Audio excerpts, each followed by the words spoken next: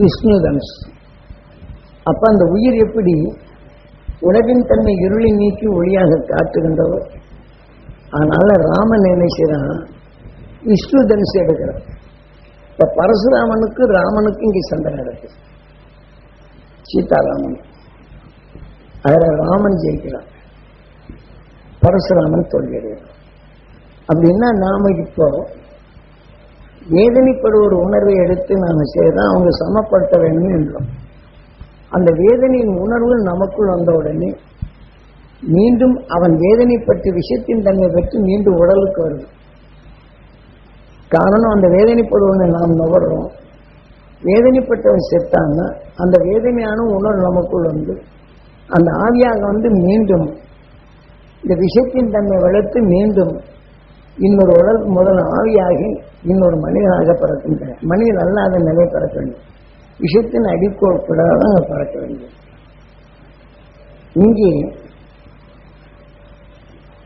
Vishnu thanks உயிர் விஷ்ணு. இந்த உலகின் தன்மை இந்த விஷயத்தை வென்று எப்படி தள்ளிவிடும்? இதை எடுத்திருப்பதனால் அந்த இதை நீக்க முடியும். எங்களுக்குத்தான் இங்க விஷ்ணு பரசுராமனுக்கு ராமனுக்கு சென்று இப்ப நம்ம உடலுக்குள்ளுக்க சமப்படுத்தணும்னு நினைக்கிறோம் நமக்குள்ள சந்தோஷமான இருக்கிற நிலைக்கு ரெண்டுக்கும் எப்படி உள்ள சண்டை நடக்குது? சந்தோஷமா இருக்குன்னு நினைக்கிறோம். சந்தோஷப்படணும்னு நினைக்கிறோம்.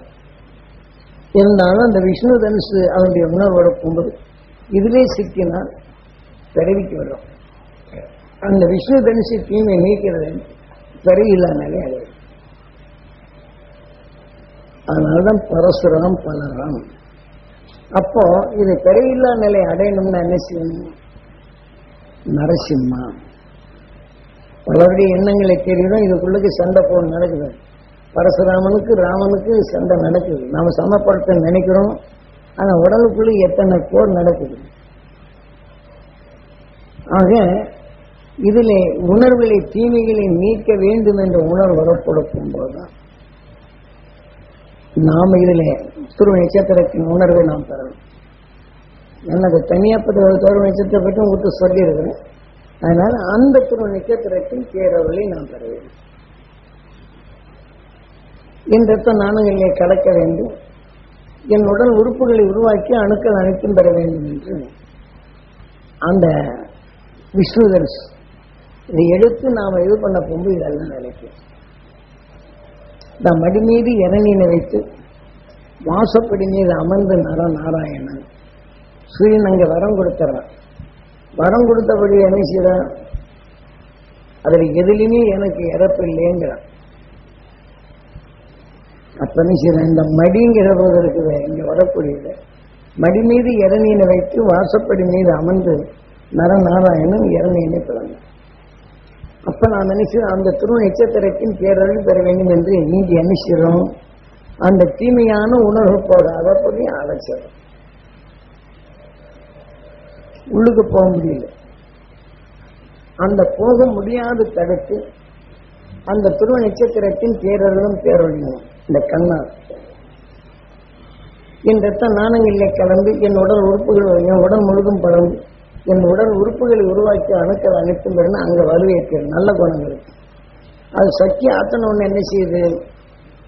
அந்த வேதிமையான உணர்வு இங்க வருதில்ல.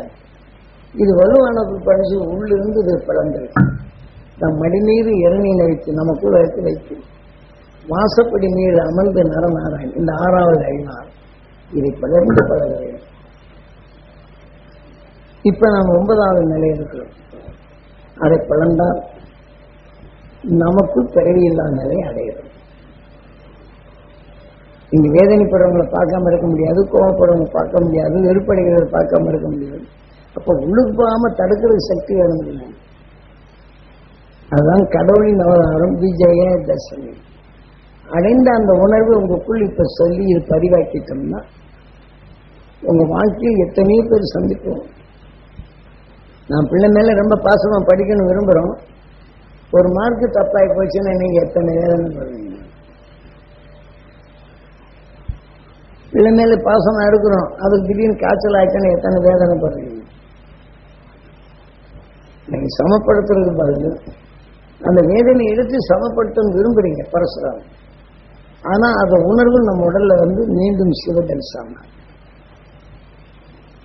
அந்த வேதனைக்கு ஒப்ப விஷ்ணு அது வந்து அது வந்து மாறி போகுது அதனால பிரகலாதன் கதையில கேட்கிறாங்க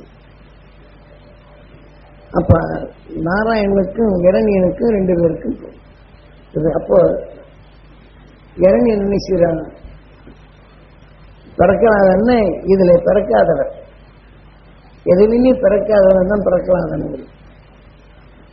ஒவ்வொரு இயக்கணும்னு வருதில்லை. இது என்னால்தான் பிறந்ததுங்கிறோம் சூரியன் நான் தான் இயக்குகின்றான்ங்கிறோம் நான் என்னாலதான் இது பிறந்தது எல்லாருமே உருவானது அப்படின்னு இந்த இயக்க உணவை பற்றி தான் சொல்றேன்.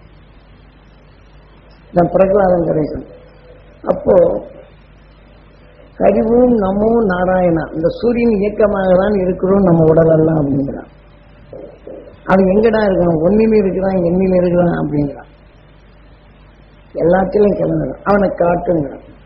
அப்ப தூணிலும் இருக்கிறான் துரும்பில் இருக்கிறான்னு காட்டுறான். அப்ப அவன் அழிச்சு அந்த உணரின் வேகத்தை பார்க்கப்படும் போது அந்த உண்மையை உணர்த்து காட்டுகிறான் அப்போ தனக்குள் இருக்கும் இந்த உடலுக்குள் இருப்பது தண்ணீரை அழித்துக் கொள்ளும் தன்மைதான் வருகிறதே தவிர உன்னால் அழிக்க முடியும் உணர முடியாது. அதை இயக்க இயக்க முடியும் ஆனால் வளர்க்க முடியாது. தீனியை தான் வளர்க்க முடியுங்கிறது தான் இந்த பிரகலாதம் கதை காட்டி. நம்மளுக்கு இவ்வளவு தெளிவாக கதைகளாக நாம் நினைக்கிறோம். மக்கள் நாம் புரிந்து கொள்வதற்கு இவ்வளவு தெளிவாக இருக்கிறார். சொல்றது உங்களுக்கு அர்த்தமாச்சு?